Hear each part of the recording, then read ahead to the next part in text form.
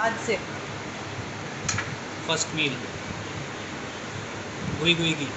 गुई गुई नहीं चुई चुई है। और गुई गुई को समझ नहीं आ रहा है क्या करना है। अब देखो उसके गर्दन के बाल